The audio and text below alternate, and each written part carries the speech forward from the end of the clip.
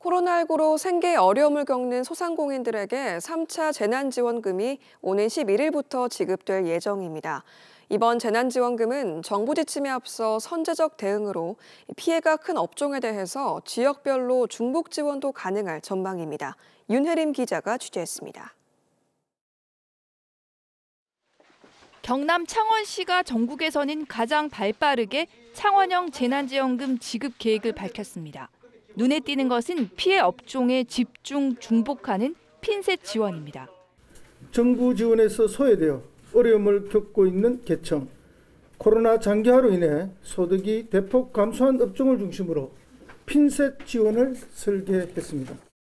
특히 정부 지침에 앞서 선제적 대응으로 집합 금지 명령 등이 내려진 업소에 대해서도 지원이 가능해졌습니다. 이에 따라 집합 금지 업종과 노래 연습장, 목욕장업에 시는 50만 원을 중복 지급합니다.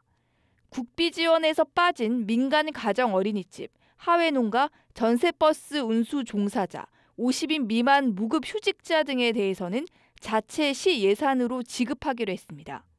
상품권이 아니라 전액 현금 지원입니다. 경남도 내에서 집합금지와 영업 제한을 받은 업소는 8만 2천여 곳, 정부 지침에 앞서 도내 시군 개별적으로 시행된 곳도 1,300여 곳입니다. 집합 금지와 영업 제한 대상이 아니더라도 매출 감소로 인해 피해를 입은 소상공인에 대한 지원도 이루어집니다.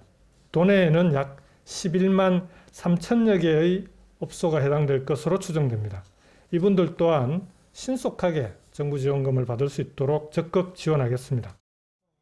소상공인 버팀목 자금과 긴급 고용 안전지원금은 오는 6일 지원안이 최종 확정되며 지자체별로 세부 지침을 정한 뒤 11일부터 지급할 예정입니다.